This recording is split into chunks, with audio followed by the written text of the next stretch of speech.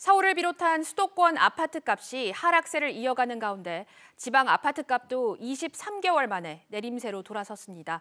여전히 팔자 수요가 사자를 앞선 가운데 서울 매수 심리는 소폭 상승했습니다. 정광윤 기자가 보도합니다. 최근 몇 년 새 아파트 값이 급등한 곳 중 하나인 대구광역시 수성구. 한 전용 84제곱미터 아파트가 지난 1월 11억 원에 거래됐습니다.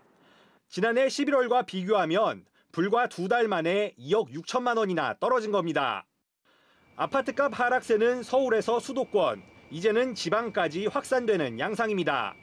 이번 주 지방 아파트값은 0.01% 떨어져 1년 11개월 만에 하락 전환했습니다.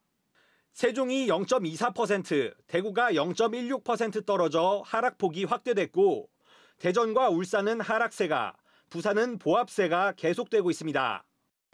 앞서 2년 5개월 만에 하락 전환한 전국 아파트 값은 이미 3주째, 특히 서울은 7주째 하락세입니다.